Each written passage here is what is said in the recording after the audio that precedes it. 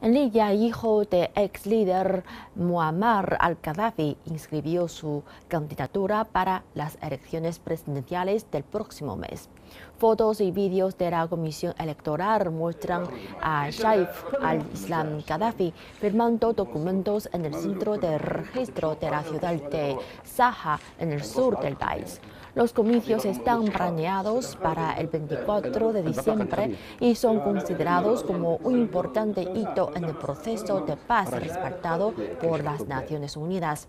Las elecciones buscan poner fin a años de guerra e inestabilidad política en el país, luego de que fuerzas apoyadas por la OTAN derrocaran a Muammar al-Gaddafi en 2011.